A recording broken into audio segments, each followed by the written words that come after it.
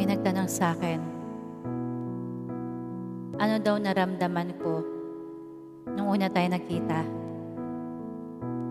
Nagbalik tanaw ako sa kahapon. Sa totoo lang, minsan di ko na maisip sa sobrang bilis ng takbo ng panahon at oras na nakasama ka. Bago tayo magkita, kinabahan na ako. Halos isang gabi hindi ako makatulog. Kasi syempre excited akong makita ka. Ikaw ba naman yung isang taon nagkulitan, nag-asaran, nag-away, nagkapate. Tapos mag-aaway ulit, asaran, bate, away. Walang katapusan yun sa isang taon. Kaya nung una kita nakita, sobrang ang daming mixed emotion. Maraming positive at negative akong naramdaman at naisip. Bakit negative? Kasi natatakot ako eh. Kinakabahan ako.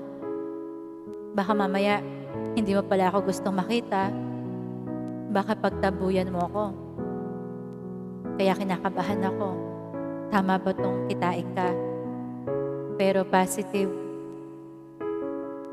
Kasi gusto kita makita para isipin ko ano ba talaga yung nararamdaman ko para sa'yo. Sa unang pagyapa ko pa lang sa lugar mo, sabi ko, aatras na ba ako? Parang ayokong pumasok. Kasi, andun yung kaba, andun yung saya. Pero sabi ko, hindi, andito na rin tayo eh. Hindi na ako aatras. Ito na yung gusto ko eh. Ito na yung gusto ko mangyari. Ang makita ka at masulyap ka. Pero alam mo, kahit nakatabi kita, hindi kita maramdaman, hindi kita makita, hindi nga kita makausap. Kasi, ako yung umiiwas. Sobrang kaba ko. Ang dami kong gustong sabihin, na hindi ko nasabi. Ni isang sulyap nga ng sa mata mo, hindi ko nagawa. Kasi mas puma, inabot ako ng kaba. Hindi ko nga alam kung ba't ako kinakabahan eh. Pero as time goes by, natapos na lang ang limang oras na nakasama ka. Kung iisipin ko at babalikan ko yung oras na yon, wala na akong maalala. Alam mo yung parang nalasing ka na at paggising mo umaga na.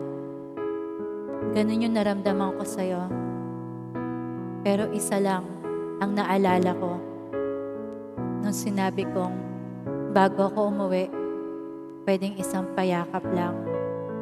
Para at least, meron naman akong isave sa memory ko kahit papano. Binuksan mo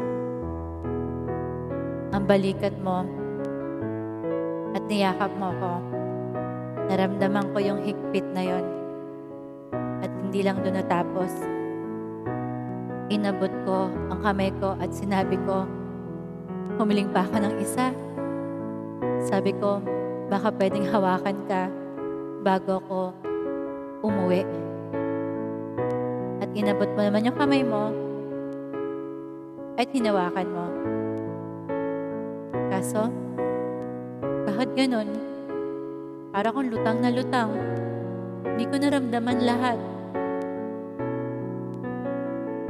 Ang weird, no? Parang yung limang oras na yon at yung moment na yon, parang isang snap na tapos na ang lahat. Pero kung babalikan ko, parang ang daming panghihinayan.